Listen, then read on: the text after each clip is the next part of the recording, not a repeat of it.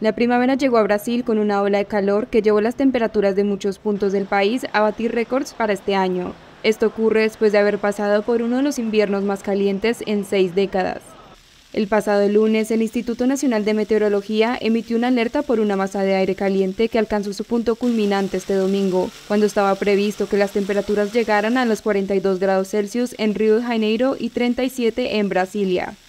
En Sao Paulo se alcanzaron los 36.5 grados a las 15 horas local, su temperatura más alta en lo que va del año, y una de las mayores desde que empezaron los registros del INMET en 1943.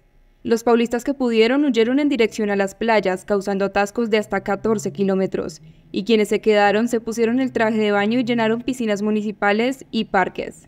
Estos termómetros disparados se deben al fenómeno del niño, que provoca un calentamiento de las corrientes marítimas que pasan cerca de esta parte de la costa de Sudamérica.